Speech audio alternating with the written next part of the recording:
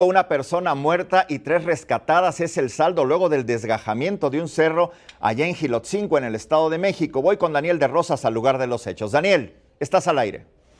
Jorge, comentarte que la emergencia continúa en el poblado de San Luis Ayucan, en el municipio de Giloxingo, donde durante la noche del viernes, luego de fuertes lluvias, se registraron varios deslaves. En esta zona permanecen los cuerpos de emergencia apoyando, tratando de rescatar a familias que quedaron atrapadas en medio de estos deslaves. Pero para ampliar los detalles, te presento la siguiente nota. La emergencia empezó el viernes por la tarde en Giloxingo. Árboles caídos y deslaves de tierra y piedra sobre los caminos eran parte del panorama. Todo ocurrió luego de una torrencial lluvia. Se escuchó un estruendo cuando se desgajó el cerro.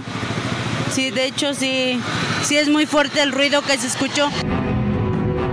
En San Luis, Ayucan, la tragedia fue mayor 14 casas quedaron sepultadas. Esta es una de las zonas más afectadas de San Luis Ayucan. Decenas de toneladas de lodo y de piedra se vinieron abajo, afectando construcciones y también algunos vehículos.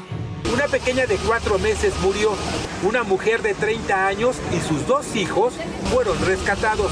Por las casas donde estaban las familias, ahí pudimos rescatar. Hasta el momento hemos rescatado de aquí abajo una familia de dos niños y una señora con vida. Elementos de emergencia trabajan en la zona cero, los buscan. Estamos preocupados.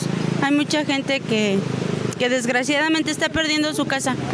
Necesitamos mucha ayuda porque hay gente sepultada todavía.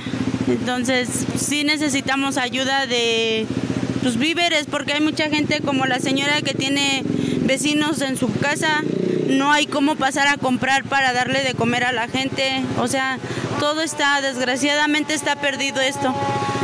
Siguen los, los desgajamientos del cerro, sigue la tragedia aquí. Lo vivo con mis vecinos, se les vino su baño, se vino un árbol, nos quedamos incomunicados, nos quedamos sin luz y la verdad ahorita vengo para ver si les puedo llevar algo de víveres. Pues ahí donde se dicen que se desbordó y todo era cañada es una cañada que pues a fuerzas el agua tiene que buscar su causa.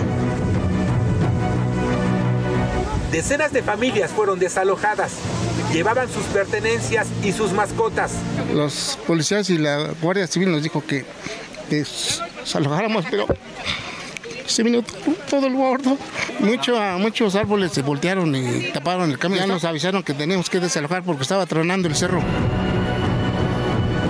La zona es inestable, lo que complica los trabajos de rescate. Jorge, te comento que a esta zona continúa llegando maquinaria pesada y también gente con víveres para las personas que resultaron afectadas y también para todos aquellos que están participando en los rescates. Mi reporte. Muy completo, muchas gracias Daniel y seguimos pendientes.